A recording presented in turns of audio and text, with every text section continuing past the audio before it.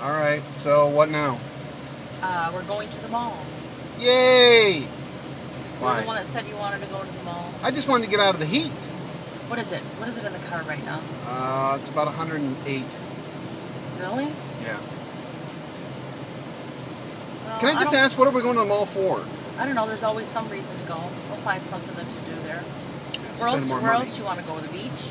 I want to go to No, beach. I want to go to Mandeville because they have Home Oh, Goods, TJ Maxx, and Marshalls. Maria. Yes, that's where we're going. I'm not going to piddle around with the the um, smaller TJ Maxxes. We're going You know, I gotta be honest with you. Ever since we started taping all this stuff for this little Facebook reality show, I've noticed a lot of diva coming out in you.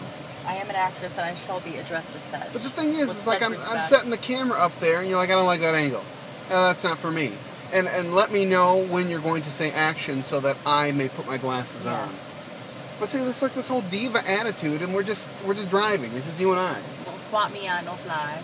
Well, I mean, this is a little. I want to go to Mandeville. All right, that's that's cool. We can find a lot of stuff there. Yeah, because I was done talking, so I'm glad that you decided to. But I am, uh, I, I should be addressed as such since I'm your wife. Yeah, you're addressed as something. All right. Oh. All right, and, andale, andale, arriba, arriba, we're going to Mandeville. Yeehaw.